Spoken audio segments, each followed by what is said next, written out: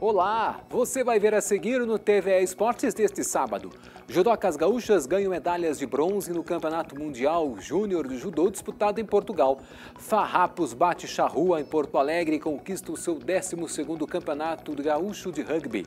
Maratona de Pelotas mobiliza a Zona Sul do estado neste domingo. TVE Esportes está começando.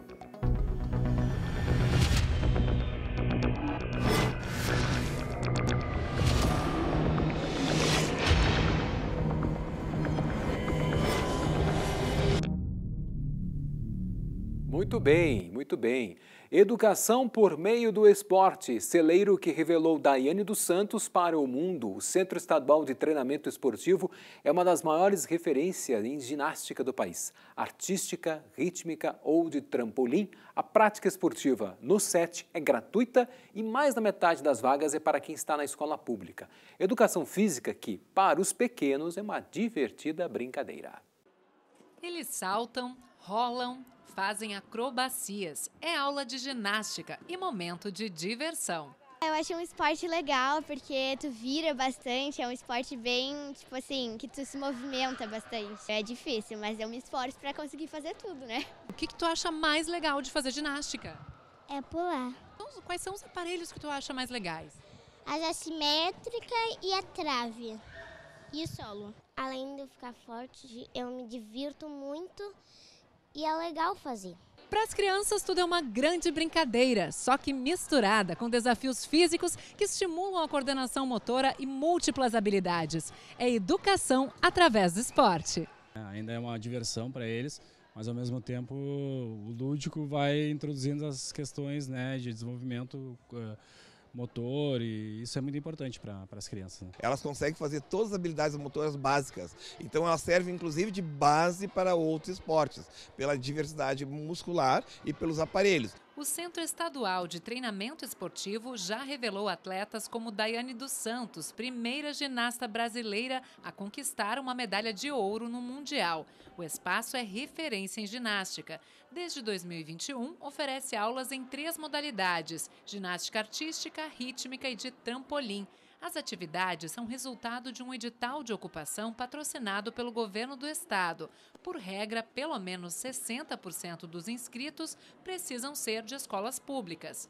E o 40% são aquelas uh, crianças da rede particular, pessoas que têm condições de pagar vêm, vão fazer as atividades também, e esse dinheiro é revertido para as melhorias dos espaços aqui. Esse link com a escola e com a rede pública dá a oportunidade dessas crianças se tornarem um atleta no futuro. Quando eu crescer, eu quero ser ginasta. Mas também tem quem se dedique a outros esportes. A gestão das aulas é feita por federações esportivas. No ginásio de lutas, hoje nós temos a parceria com a Federação de Judô, a Federação de Muay Thai Kickboxing e com a Federação de Boxe, né? Que para nosso para nossa satisfação estão com todas as vagas praticamente lotadas aí de, de crianças praticando esporte e o Estado podendo financiar isso, né, de uma maneira bem, bem criativa, que foi o edital que gente, edital de ocupação que a gente fez aqui nos ginásios do SET. A gente tenta trabalhar bastante coordenação motora, né?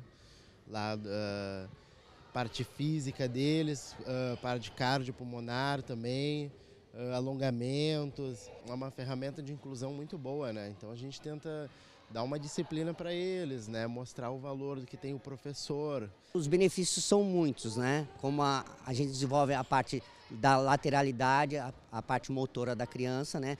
Além disso, a parte filosófica do judô, por ser uma arte marcial, e também a questão da disciplina, né? Bastante respeito, aprender como cair, caso eu for eu tô andando de bike, eu conseguir cair direito, não me machucar. Eu acho que o esporte é importante não só para a educação, para tudo, né? inclusive para a saúde das crianças. Né? Ainda deixa algumas lições. Hoje a gente vence, né? mas amanhã a gente pode perder. Mais de 700 crianças e adolescentes de 5 a 16 anos participam das atividades esportivas do SET. E, independentemente da modalidade, a diversão e o aprendizado são garantidos. Ah, eu acho muito bom. É muito legal. A gente treina e a gente cresce para a vida.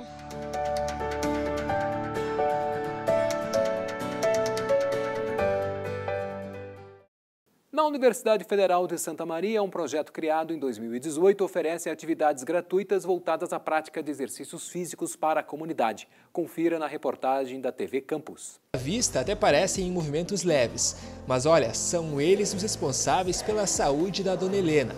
Ela sofre de doenças reumáticas e diabetes. Há alguns meses decidiu encarar a piscina como uma forma de tratamento. Artrite, artrose, diabetes, só isso. Mas só isso, é, mas tem que controlar tudo para quando eu vejo a diabetes está 200 e pouco. E o amor pela prática é tanto que nem as dores param Dona Helena. Pelo contrário, como ela mesma gosta de lembrar, não paro o dia inteiro. Eu trabalho e às vezes vou lá e planto flor, e planto capim. Uma, uma criatura medonha, né? Mas que coisa boa a gente ser assim, né? Que hoje que está montado numa cama. Já esta senhora foi diagnosticada com fibromialgia em 2021. Os sintomas começaram com uma dor no pescoço. Aí eu ia estender uma roupa, quando eu via caía da mão. Aí eu fazia exame, não dava nada e me diziam que era coluna. Tanto que eu tomei remédio, injeção para coluna um tempão. Foi através da internet que ela descobriu os sintomas da doença. E direto para UPA. Tanto que eu chegava lá, os médicos, o cara da portaria já dizia, Dona Helena tá aí de novo. Foi através da internet que ela descobriu os sintomas da doença. E direto para UPA. Tanto que eu chegava lá, os médicos, o cara da portaria já dizia, Dona Helena tá aí de novo. Ah, fiquei conhecida lá. Né? A fibromialgia é uma das doenças reumáticas mais comuns. A síndrome crônica afeta músculos, cartilagens, tendões e ligamentos, causando rigidez e dor intensa. A fibromialgia é uma dor que, grosseiramente, a gente diz que ela anda pelo corpo, né? Então, é uma dor difusa, não tem, uh, não tem o lugar que não doa. E olha, embora a fibromialgia não tenha cura, o tratamento ajuda a controlar o avanço da doença e a aliviar os sintomas. E um dos tratamentos é justamente esse, na água, a hidroterapia. Exercícios assim, oferecidos por um projeto aqui da UFSM, incentivam a liberação de substâncias naturais do corpo que promovem a sensação de bem-estar. O ProSaúde é fruto da parceria entre a UFSM e a Prefeitura. Uma das modalidades do projeto é a de reumáticos e dores crônicas. A iniciativa possui ainda outros 12 grupos, como musculação, alongamento, corrida e até grupo de gestantes. A hidroterapia age como um tratamento complementar ao tradicional.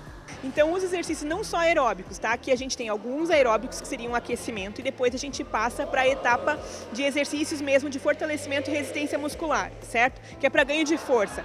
Esses são os exercícios mais indicados para a população que tem dor crônica ou com algum tipo de dor. Então, a gente foca nesse tipo de exercício e nas sextas-feiras a gente tem essa dinâmica mais de grupo, que eles trabalham em grupo. E na quarta-feira é atendimento individual. Cada um tem um terapeuta e aí foca especificamente na sua dor ou na sua queixa. Para participar do projeto é necessário ter o laudo médico com a classificação internacional da doença, além do atestado para atividade na piscina. O projeto realiza duas avaliações com os participantes, uma no início do semestre e outra ao final. Para mais informações, acesse as redes sociais do ProSaúde. Atividades físicas como a ginástica e o pilates são alguns dos maiores aliados na prevenção, combate e até reversão da dor nas costas, um dos incômodos mais comuns para quem passa a maior parte do dia sentado. Acompanhe na reportagem da Dalva Bavaresco. Neste estúdio de Pilates, as dores na coluna são a reclamação mais comum. A maior procura do estúdio realmente são dores na coluna.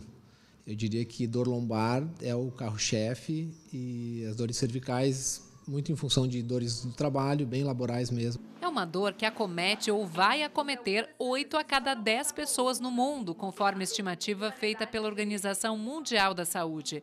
Aqui no Brasil, dados do IBGE e do Ministério da Saúde apontam que 27 milhões de adultos sofrem com dores na coluna, o que corresponde a quase 20% da população nacional. A Terezinha também faz parte dessa estatística, mas conseguiu aliviar o desconforto com atividade física. Há 16 anos, ela aderiu ao Pilates e comemora ótimos resultados.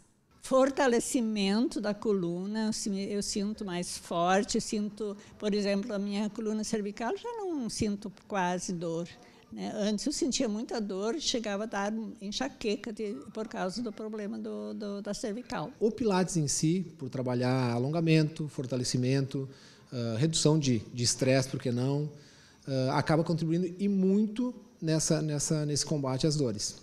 Principalmente na questão de mobilidade, de, do próprio realinhamento da postura. Mesmo quem tem problemas prévios, como hérnias na coluna, pode fazer pilates adaptando o tipo de exercício. Muitos começam a atividade justamente por orientação médica. E tem aluno de todas as idades, mas por motivos diferentes. Entre os mais jovens, o fisioterapeuta observa que a tecnologia está por trás de muitos problemas.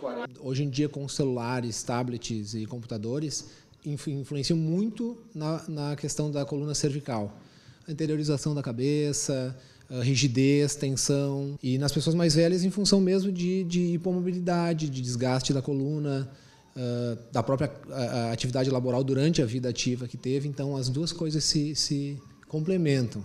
Para prevenir, a dica é alongar, cuidar a postura, evitar ficar muito tempo na mesma posição e, claro, fugir do sedentarismo. A Terezinha admite que o Pilates não foi um amor à primeira vista. Confesso que no início eu detestei, porque era tinha que prestar atenção em muitas coisas ao mesmo tempo. Mas aos poucos eu fui começando a gostar, começando a sentir os efeitos né, no meu corpo. Hoje ela não larga por nada. Acha o exercício criativo, menos monótono que a musculação e ainda avalia que ganhou concentração e flexibilidade. Estaria aí a chave para tanta vitalidade às vésperas de completar 80 anos? Olha, quanto mais idosa a pessoa é, mais ela precisa fazer pilates, porque ela melhora muito a qualidade de vida e eu acredito que ela prolonga também a vida da gente. Eu acredito nisso. Campeonato Mundial Júnior de Judô. Das quatro medalhas conquistadas pelo Brasil em Odivelas, Portugal, duas foram para atletas do Grêmio Náutico União. A cearense Kátia Alves venceu três das quatro lutas que fez e faturou o bronze no peso pesado para atletas com mais de 78 quilos. O caminho para a medalha começou com vitória segura sobre a Uzbek Moklaruin Tukta-Michev. Nas quartas de final, veio o revés para a japonesa Miki Mukonoki, por Ippon, e Kátia foi para a repescagem. Na chave de cima, a outra brasileira inscrita, Enia Pires, teve o mesmo desempenho, vencendo a primeira luta sobre Kanaropret Kaur, da Índia, por Ippon, e parou na sul-coreana Yeon-ji Lee. Com isso, as duas brasileiras se encontraram na repescagem para definir quem iria à disputa pelo bronze. Elas treinam juntas no União de Porto Alegre. Kátia levou a melhor e foi para a disputa por medalha. Na luta final, ela dominou a italiana Tiziana Marini, marcando um Wazari no início do combate e finalizando a adversária com imobilização até o segundo Wazari. Kátia fala sobre a conquista do bronze. Eu acabei de ser terceira colocada no Mundial Júnior aqui em Portugal e eu queria passar para agradecer a Deus, a minha família, ao meu clube por todo o suporte, todo o apoio, a CBJ. Muito obrigada. E eu queria agradecer também a torcida de vocês. E esse é meu primeiro Mundial e também minha primeira medalha em Mundiais. O judô brasileiro fechou o campeonato mundial com medalha por equipes. No domingo, a equipe brasileira venceu três dos quatro confrontos. A medalha de bronze veio com vitórias sobre Hungria e Holanda nas oitavas e quartas de final, respectivamente. O Brasil só parou no favorito Japão na semifinal e derrotou o Azerbaijão na disputa pelo bronze. Vamos aí agora um rápido intervalo, mas já voltamos com mais TVE Esportes.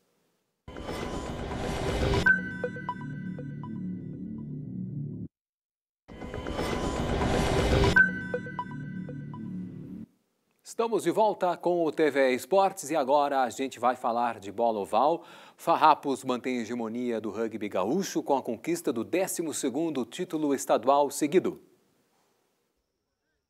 A final do Campeonato Gaúcho da modalidade foi realizada na tarde do último sábado na Sociedade Hípica Porto Alegrense, na zona sul da capital. Frente a frente estiveram os dois times mais tradicionais do estado, o Farrapos de Bento Gonçalves e o Charrua de Porto Alegre. Com o campo bastante pesado por causa das chuvas das últimas semanas, a decisão foi extremamente disputada. Mas quem se deu melhor foi o Alviverde da Serra, que venceu por 15 a 0, pontuação obtida ainda no primeiro tempo. No período final, a equipe de Porto Alegre bem que tentou uma reação passou a controlar a maior parte das ações ofensivas e esteve perto de marcar em algumas situações, mas no final prevaleceu o paredão defensivo do adversário. Com a conquista do gauchão deste ano, o 12º consecutivo, o Farrapos garantiu um lugar na Copa do Brasil de Rugby de 2024, competição que junta os campeões estaduais e regionais da modalidade no país. Basquete, disputada em Passo Fundo, no norte do estado, a primeira edição Copa KTO foi vencida pelo Vasco da Gama do Rio de Janeiro. A equipe do Caxias do Sul ficou em segundo lugar no quadrangular final. Os cariocas ficaram com a taça ao vencer o Caxias do Sul Basquete na terceira e última rodada disputada no clube comercial. Com a derrota por 72 a 65, a equipe da Serra fez uma campanha com duas vitórias e um resultado negativo. O primeiro quarto terminou com vantagem dos cariocas, 21 a 19. No segundo período, o Caxias Basquete conseguiu uma reação e a virada aconteceu.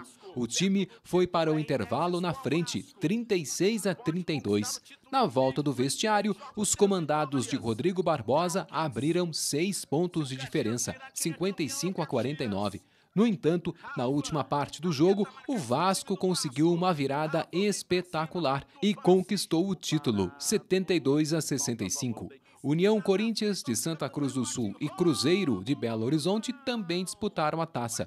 Os gaúchos não venceram nenhuma das três partidas disputadas. A temporada 2023-2024 do Novo Basquete Brasil começou ontem, mas os dois representantes gaúchos só estreiam na outra semana, dia 24, no maior clássico regional, Caxias versus União Corinthians. O time de Santa Cruz do Sul já contratou nove reforços para a temporada. E Pelotas cedia neste domingo a primeira maratona do município. O assunto que discutimos esta semana com o diretor do SESC Pelotense, Luiz Fernando Parada. Acompanhem conosco.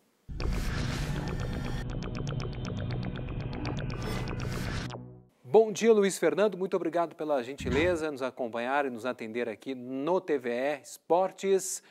Tudo pronto? Qual é a expectativa? As inscrições estão encerradas. Bom dia mais uma vez e muito obrigado. Bom dia, bom dia a todos. É, realmente, assim, um grande evento para a cidade de Pelotas, para a região e para o Rio Grande do Sul, né?